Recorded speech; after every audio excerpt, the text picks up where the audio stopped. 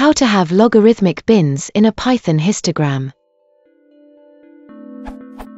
As far as I know the option log equals true in the histogram function only refers to the y-axis.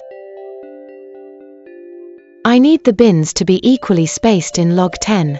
Is there something that can do this?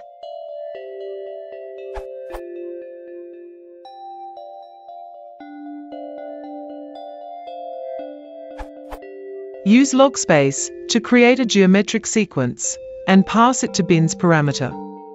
And set the scale of z-axis to log scale.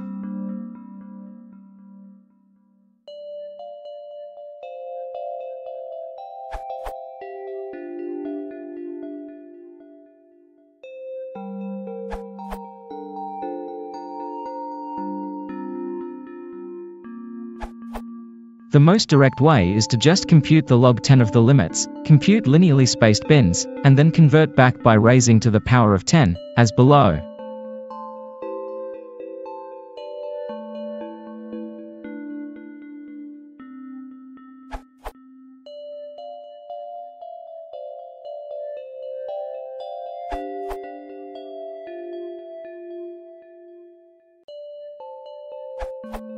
The following code indicates how you can use bins equals auto with the log scale.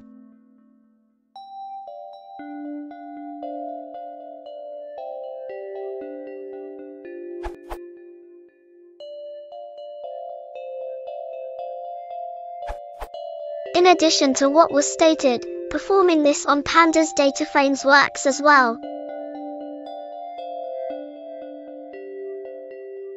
I would caution that there may be an issue with normalizing the bins.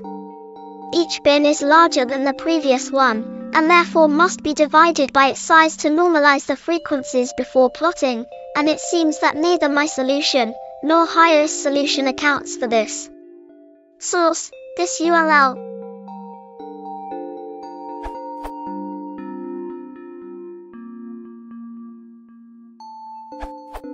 A variation of the proposed answers for the case where we need to include zero or even negative values.